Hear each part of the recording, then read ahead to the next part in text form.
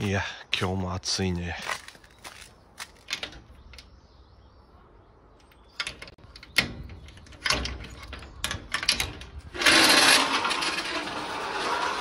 いしょそっかそっか。よいしょ。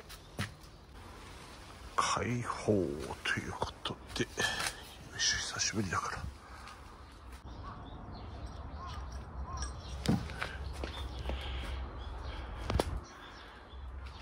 よし。はい、開放しました。ハウスの中ポカポカです。まあですね、今日はハウスじゃなくてもね、僕、半袖、熊本、異常に暑い10月末なんですけど、皆さんどうでしょう？まあ関東の方はね、娘から連絡があって、えーかなり寒いみたいなんですけど、えー熊本はですね、ポカポカでございます。まだボイラー入れなくて全然大丈夫かなといった感じで、えー、チワ散歩やっていきたいと思います。ビニールね、貼ってから一度もやってなかったんで、結構環境ね、変わっています。まあ、植物たちはですね、ビニールを貼っただけで、全然その配置とかですね、いろいろ変わっていないんですけど、やはりですね、ビニールをこう二重張りすることによって温度もですけど、湿度、これがね、かなり上がります。もう今、朝のですね、9時半ぐらいなんですけど、水滴ポタポタポタポタですね、落ちる音がするんじゃないかなと思いますが、えー湿度がね、めちゃくちゃ高くなります。なので、えー、20針張って、今日で5日目ぐらいかな。うん。植物のね、状態はね、ちょっと変わってきてるんで、この辺をですね、皆さん観察しながら今日のチワ散歩楽しんでいただければなと思います。はい。まずね、前の方ね、随分片付けてきましたけど、えー、どんどんどんどん前の方にいい植物、後ろから発掘してね、持ってこようと思います。そして、このコウモリラン、久しぶりにね、登場ですけど、チラチラはね、映ってますけど、じっくりは皆さん見てない。見て、またでかくなったでしょ。そして、面白いですよね。貯水葉がバッと展開して茶色くなったと思ったら、またね、出てきて、ね、これまた茶色くなってくるのかな。そしたらまたここね、出てきました。1ヶ月前、アリさんたちいましたよね。アリさんここ登ってきてずっといましたけど、いつの間にかね、仕事を終えていなくなりました。干貝殻虫がね、いたかなと思ってたんですけど、消毒しっかりしたらね、いなくなりました。貝殻虫がね、ついてたから食べに来てたのかなとも思いますけど、えー、糞とかね、おしっこかな。なんか蜜がね、甘いみたいな感じで、えー貝殻虫入ってましたけど、えーアリさんですね、いなくなりました。後ろから見るとこんな感じです。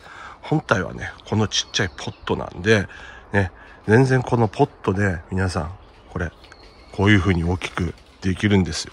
コウモリランなんで、やっぱりこう、宙吊りにしてあげてるのがね、いいのかなと思いますけど、マンションのね、僕のコウモリラン見ていただくとわかるけど、えー床にね、直置きで、えー育てることもね、できます。ほとんどはね、板とかに活着させているものがね、多いと思うんですけど、全然鉢で宙吊り、この状態いけてます。ね。見えなければ活着してるような感じですよね。はい。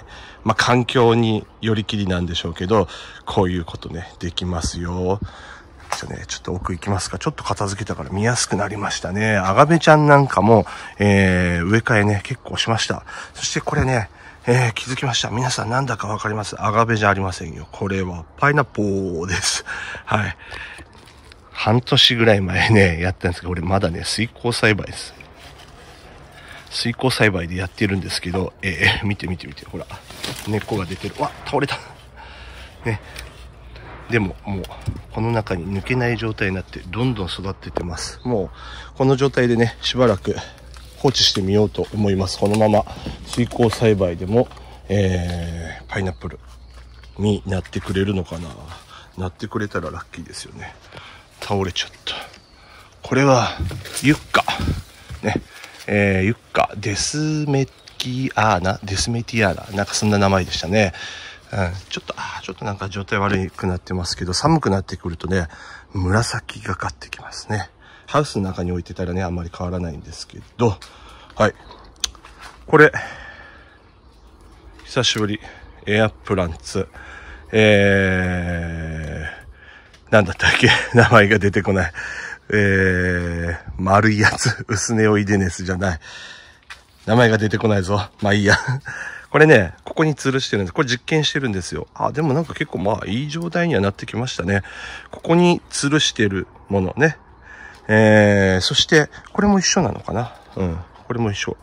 ちっちゃいですけど。全部ね、同じ時期に購入してきて、ここにずっと吊るしてたんですけど、ね、この状態見ててくださいよ。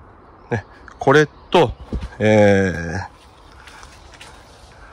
あそこ、二つ。今年の4月ぐらいかな。えー、吊るしてね、風を当ててあげたらしっかり育ちますよ、みたいなね、感じ言われてたんで、ここに2つ吊るしました。ね。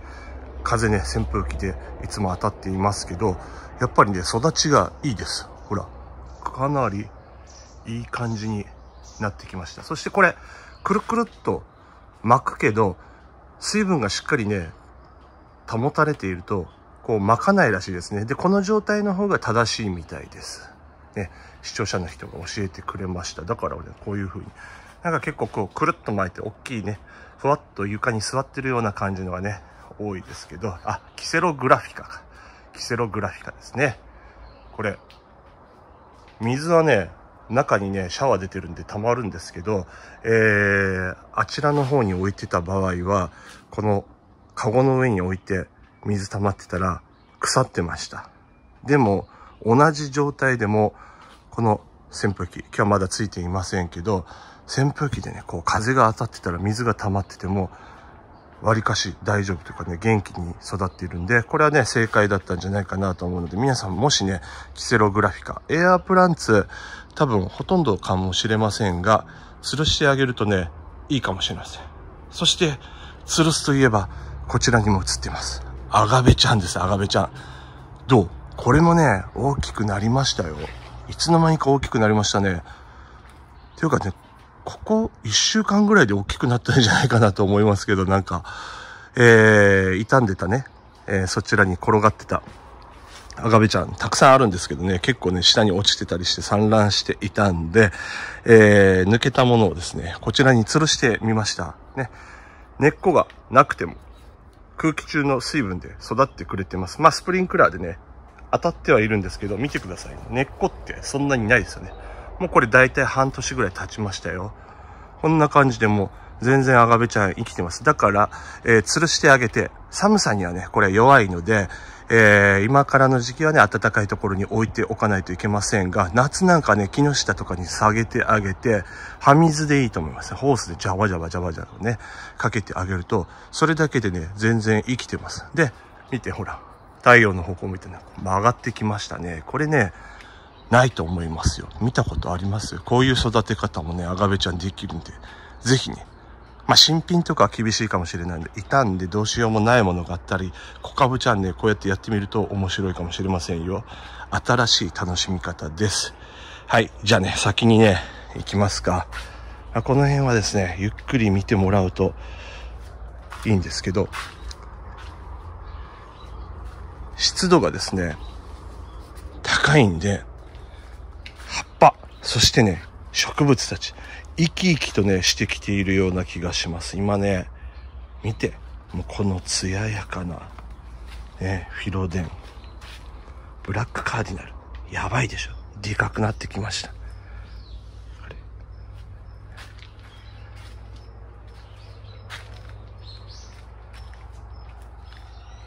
しばらくご堪能ください。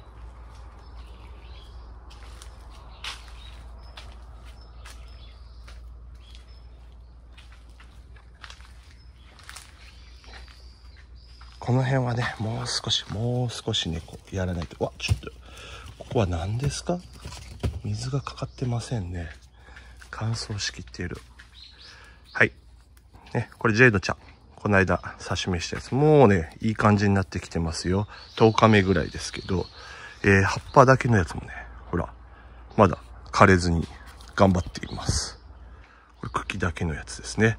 いけるんじゃないかななんか。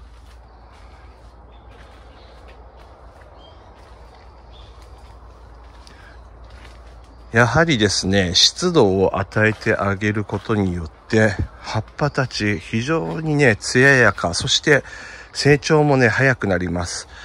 ウンベラータなどをね、見ていただくとわかる通り、ぎゅっとね、太陽の再生工場で縮まっていたウンベラータたち、葉っぱをですね、大きく展開し始めてくれています。湿度を浴びたらね、ぎゅーっと大きくなってきます。ね、こうちっちゃかった子たちが、葉っぱね、薄くもなっていきますよ。でもね、これ硬い。ね、やっぱり硬いですよね。全然この、こちらはね、ハウスの中の育てたやつ。めっちゃ大きいでしょ？ね、このぐらい。これペラペラです、ペラペラ。でも、こちらはね、硬い。でこの硬さで大きくなっていくからね、強いんです。ね、太陽の再生工場で日光を浴びたウンベラータたちはですね、ちょっとこういうシミとかね、できてることありますけど、硬い葉っぱで大きくなってくれる。ね、これだから、え皆さん心配しないでください。お家でね、湿度とかがこう少ないところでもお家で管理していれば葉っぱある程度大きくなるからですね。えー、葉っぱちっちゃくてギュッと詰まってるんで病気でしょうかという人たちね、いますけど心配しなくて大丈夫です。うん。インドボダイジュちゃん。今のところ今年は絶好調です。これ一回悪くなる前に貸すかな。こう、暖かくね、ハウスして、インドボダイジュの場合ね、この湿度が高くなると、逆になんか悪くなってくる。そんな感じね、えー、見受けるので、今年はね、ちょっと消毒を多めにしながら、こまめにね、観察して育てていきたいと思います。この冬をね、貝殻虫出ずに育てれたら、合格だと思います。今のところね、大丈夫だよ。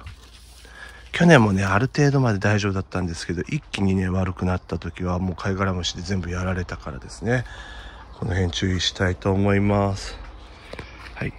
ね、ハウス暖かくなってくると、やっぱりね、こう、寒いところにあった植物たちはですね、先日も言いましたけど、葉っぱから水分を飛ばさないようにね、頑張っている状態なので、こういう風にね、葉っぱ黄色くなって落とすこともありますが、すぐね、新しい葉っぱを出し始めてくれるので、悪くなった葉っぱはしっかり取ってあげてください。ねもうみるみるうちに葉っぱがね、伸びるし、シャキーンとなりましたね。今新年なんかもね、ちょっと下向いてたんですけど、お、ほら、ハスの葉切りも元気に戻りましたよ。あれ？これ折れちゃってますね。まあ折れちゃってたらしょうがないか、これは。これは取って、ね、どこか刺してあげましょ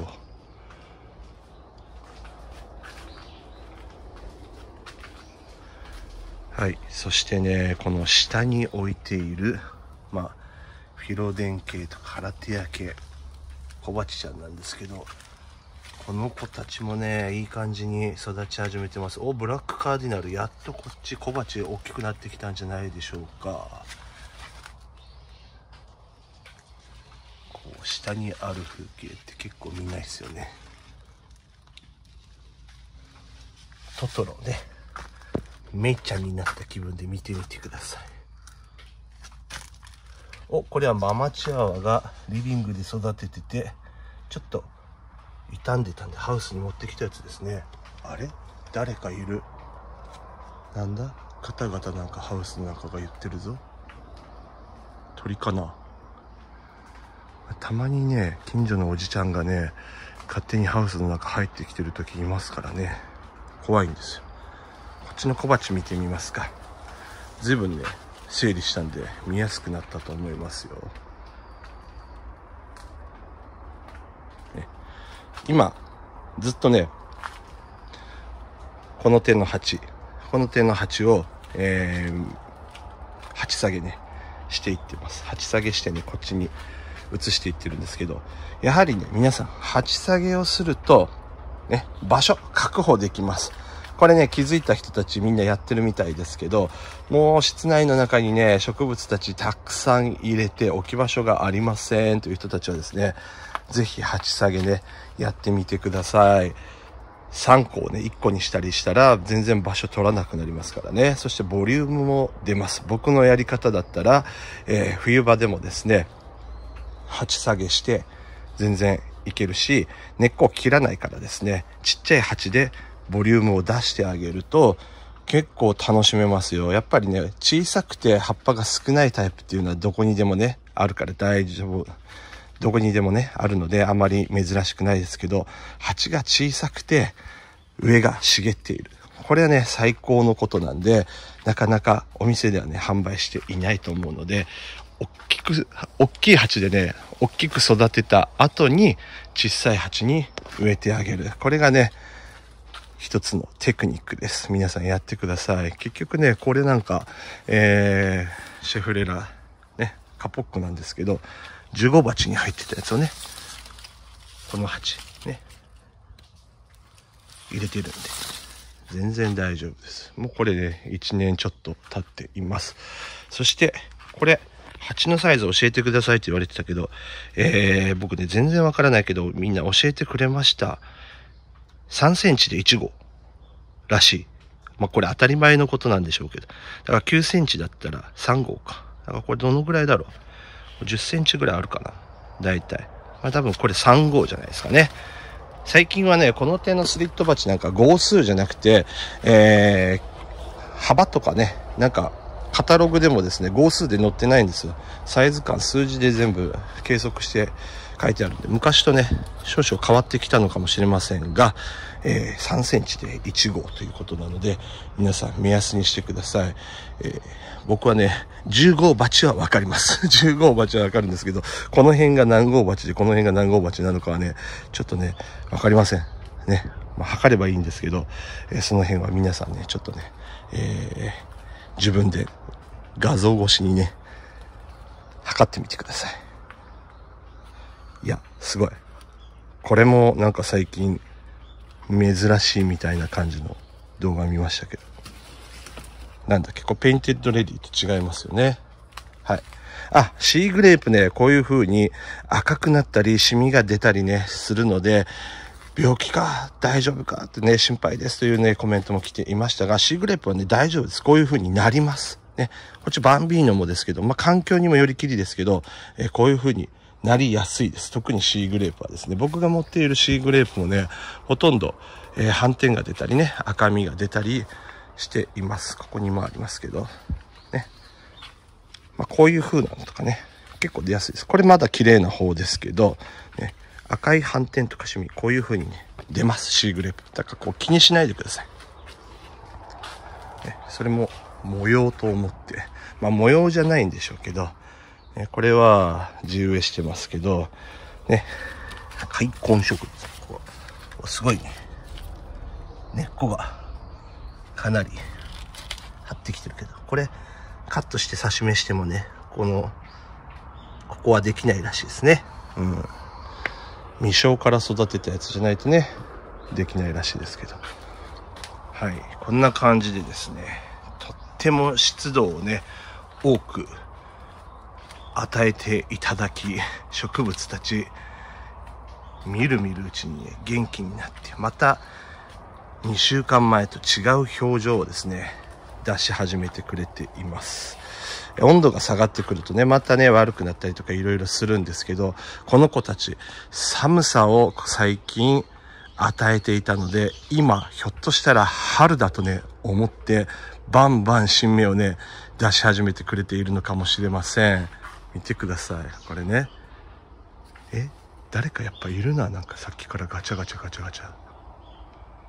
はい。ということで、ハウスの中、ちょっと探索、そして犯人探ししに行きたいと思いますので、皆さん今回はこんなところで、たくさんね、成長し始めてるんで、またね、やりたいと思います。それでは今回こんなところで、バイバイ。